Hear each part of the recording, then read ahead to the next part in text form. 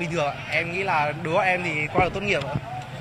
Em nghĩ là cũng sẽ làm được khá là tốt bởi vì uh, từ trước đã có có học khá nhiều về bài này rồi đề này cũng khá sát nên cũng không khó khó về phần nghị luận.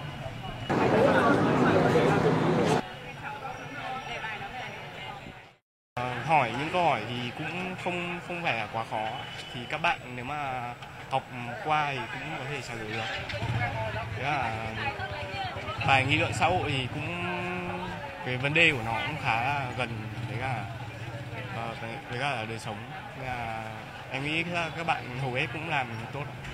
Về đây này em nghĩ cũng ít nhất cũng trên khoảng bốn bốn năm điểm. Là dễ là được. Còn tất nhiên là em thấy là đề thi giống với những gì bọn em được ôn tập nên là nhiều khó khăn trong việc làm bài thi nên uh, cả đề thi thì cũng sát với những gì bọn em được học nên là cũng không khó để làm. Đó là bài cảm